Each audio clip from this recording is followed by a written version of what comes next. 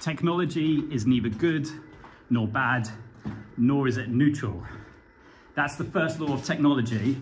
According to Melvin Kranzberg, he was an American professor and a historian in technology uh, back in the Cold War.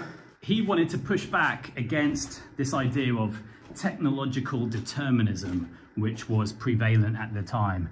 This idea that technology inevitably follows a specific path and it shapes humanity in predetermined ways.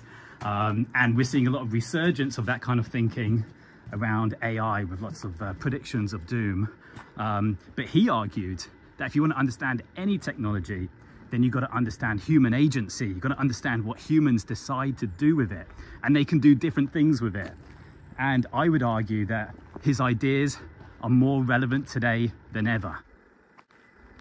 Should probably explain where I am. I'm here on the western tip of Latvia, surrounded by beautiful forest, but this used to be a top secret Soviet military base during the Soviet occupation of the Baltic countries. And about 2,000 military personnel and their families used to live here.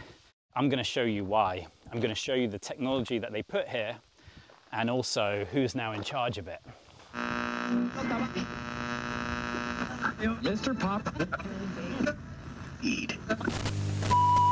This base was known as Starlet. It was a listening station for intercepting communications in the West. This photo taken by American satellite. This is Arnis, who agreed to show me around. Starlet is home to the largest satellite dish in Northern Europe, as well as a few smaller ones.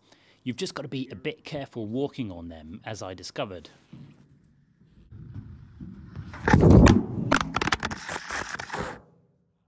A bit slippy. Yeah, all okay. Yeah, just when I was starting to feel like James Bond.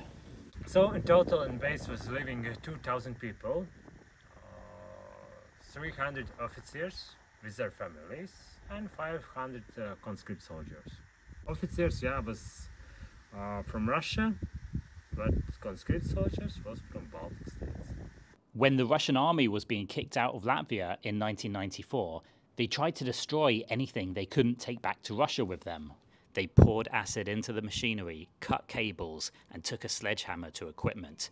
But the Latvian Academy of Sciences quickly moved in and began restoring the site, which is now under the management of nearby Ventspils University, which is who Arnis works for. They did lots of renovations, not just fixing the satellite dishes, but also putting up new science buildings, bringing in new equipment, and getting rid of the most unstable old buildings. Find someone who looks at you like a Latvian looks at Soviet shit being blown up. the Russians took away all the recordings made at the station, except one. This tape was found inside one of the buildings being prepared for demolition. It was carefully recovered and for the first time, we can hear the communications that were intercepted by the station. Now, what do you think it was? Confidential discussions between world leaders? Communications with nuclear submarines? No. Anyone who had to live under the Soviet Union can probably already guess. Some of the most advanced Soviet technology was being used to pirate Western music. Yeah, of course.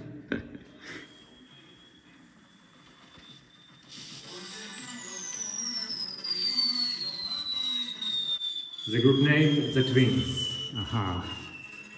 the song name Ballet Dancer. This is German synth pop, which briefly reached number 19 in the German charts in 1983.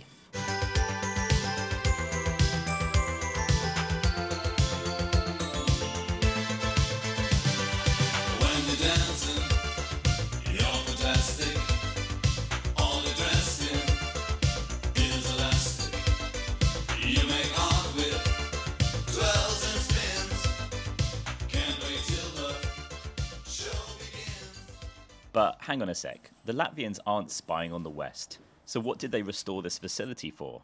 They decided to give the technology something socially responsible to do. The Latvian scientists were like, This thing needs to learn how to adapt, Murph. Like the rest of us. So they pointed the satellites to the stars instead, and now use it to explore space. Receiving electric magnetic waves from stars, galactic quasars, and other cosmical objects what's out there. So there's usually one main question, and this question usually is about these guys. Uh-huh. Everybody asking me, are there aliens out there? So that is the main question. And my answer is, sorry guys, I'm not allowed to talk about them. More recently, the Latvians have invested millions here into new generation state-of-the-art antennas. Calling LOFAR, low frequency array. And with this one we're also making the measurements. This is part of a huge pan-European network of more than 50 such stations. It's the most powerful technology of its kind, and it's right now helping map the universe and unlock its secrets for humanity. Because you need really huge antennas to hear all the noises that's coming from the universe. Kranzberg's last rule of technology is that technology is a very human activity, and so is the history of technology. My visit to Starlet really helped me reflect on that reality. Nothing in this world is inevitable, not in geopolitics, not in technology, not in anything else. You can't understand the world if you don't respect human agency and seek to understand it.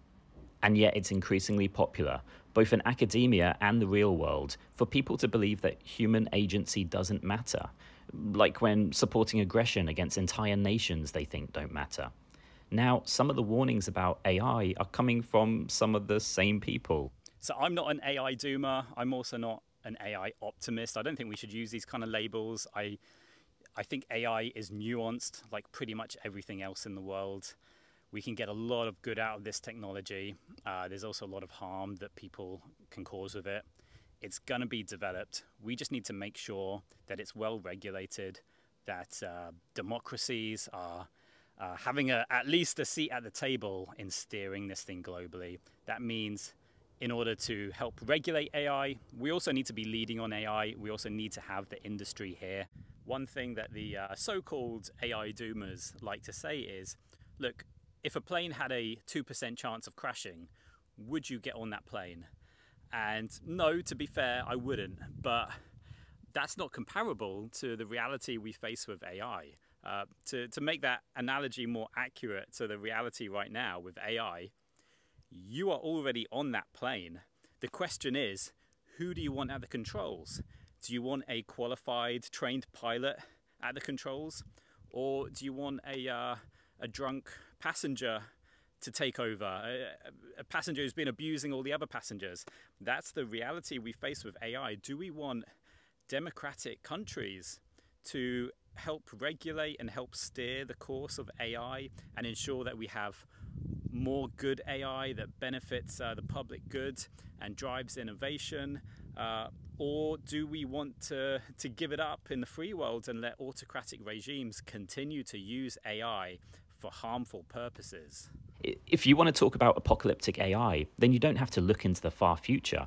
Just invite Uyghurs to your panel the Uyghur genocide is both enabled by AI and enabling the further development of AI, but you won't hear about this in debates about AI because that would mean challenging how actual humans use the technology now, which can be awkward if you are dependent on them for market access. It's easier to talk about AI as this great power unto itself, especially if you're also not clear what value your own AI offers you right now. If you can't talk about the Uyghur genocide, or if you won't talk about it, then you don't know the first thing about the risk of AI. When the Latvians kicked out the Soviets, uh, they showed that human agency does matter, that we can shape our own future. So thank you for watching wherever in the world you are, and always remember that you matter, even in the age of AI.